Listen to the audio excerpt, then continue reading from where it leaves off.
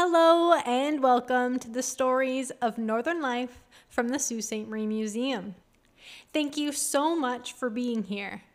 With every episode, you are learning a little more about Sault Ste. Marie history and gaining a greater appreciation of our northern community, the moments, the people, and the places. The Soo Museum is here to preserve your history, but also to share it in as many engaging and entertaining ways as we can.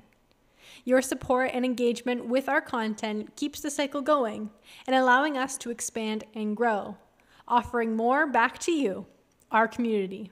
So thank you. Season two of the Stories of Northern Life podcast is coming soon. Until then, we are resharing a few episodes over the past two years. That's 100 episodes that we love and think that you will too.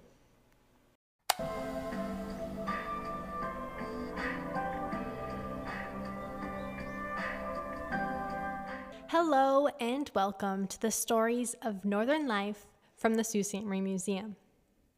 Over the years, we lost a lot of great historic buildings, monuments, and what would have been artifacts today due to terrible fires, catching a spark by surprise.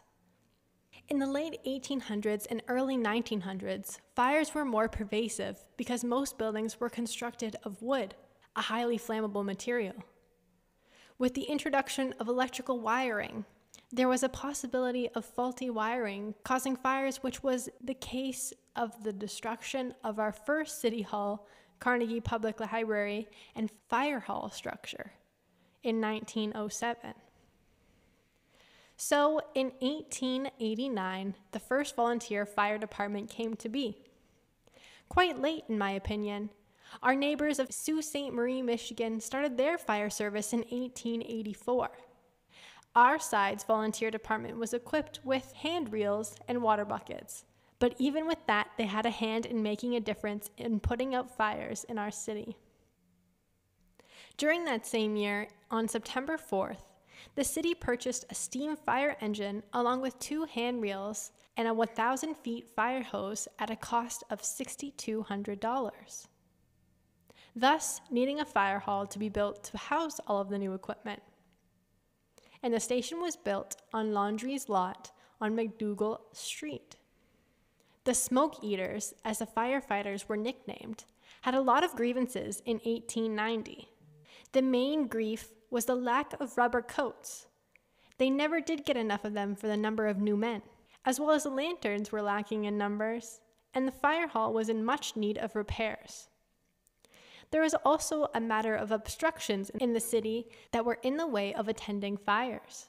Rocks obstructed the tank at the fort, and the posts on Bay Street were such a nuisance. The brigade threatened to resign until they actually did in March 1981. In response, William Howard Hearst helped form a new volunteer fire brigade. These firefighters were paid 50 cents for the first hour at a fire and 40 cents for each succeeding hour. They were paid 25 cents for false alarms, too. In 1892, a new horse drawn engine was purchased. Horse drawn equipment was still used until 1938, even alongside motorized fire trucks. Half the time, they would not start in the cold weather or get stuck in the snow so the horse drawn equipment would have to follow along too, just in case. It wasn't until 1913 the first motorized truck arrived, and it was not long in its new home until it had to go out on its first mission. The truck left the fire hall on Queen Street, proceeding to Mayor Simpson's store, then to Pim Street, up Pim along Great Northern Road, back by the Bruce Hill route. The whole distance was covered in 13 minutes. The truck engine was air coolest weather and developed 80 horsepower, making a speed of 35 miles per hour. On January 10, 1916, a fire began in the Sault International Hotel elevator shaft. Exactly how it was started seems to be unknown, but it was poor timed for one to happen. Not only did typical January weather make it difficult for firefighters to use their hoses, the fire location made it difficult for them to even reach the hotel. It is also said that there was a strong wind on that night, which helped fan the flames even more. Despite the best efforts of the responders, the International Hotel sadly burned to the ground, with only a few walls and some items inside surviving the blaze. In 1920, the fire department relied almost exclusively on mechanical trucks. But like I said, when the weather was questionable, the wagon and team followed in case a truck became stuck in the mud or snow. As the city grew, so did the fire department, with more and more station houses and equipment. In 1952, the East End Hall was built just a year after the West End Hall was built, as an exact replica. It housed one truck along with more modern equipment. Three men worked each of the three eight hour shifts to provide the city's rapidly growing East End with more efficient and adequate fire protection. The hall remained in use till 1990. In 1953, the fire department purchased its first aerial ladder pump truck. It weighed 24,000 pounds and came equipped with a water tower having three feeders into a single main hose that would put out 1,100 gallons of water per minute.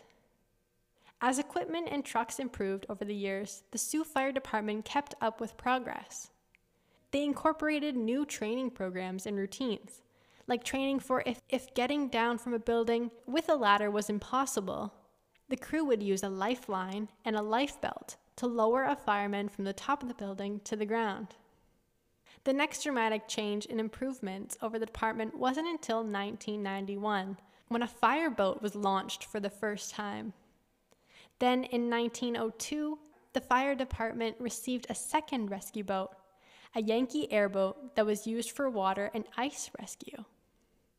In recent times, there are still fires happening all the time, caused by various reasons.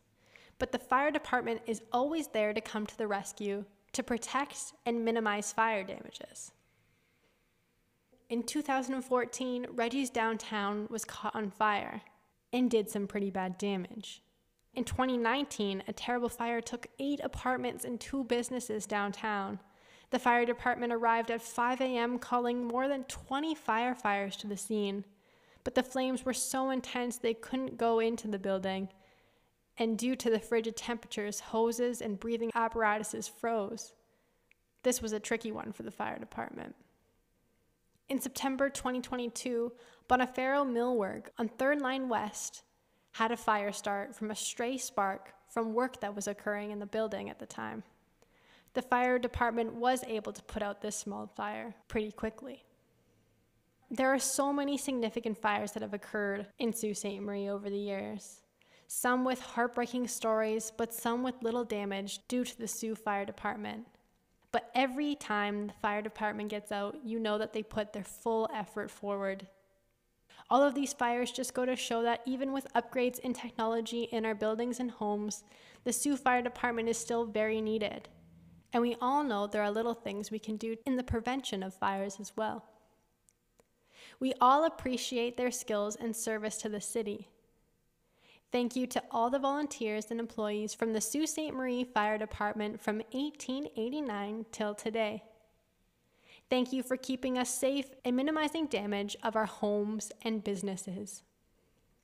Come back again next week for another special episode of the stories of Northern life from the Sault Ste. Marie Museum. Thank you so much for listening. Be sure to follow the Soo Museum on Instagram or Facebook to get the most up to date information on what we are up to and more Sault Ste. Marie history, of course. Season 2 is coming, so stay tuned.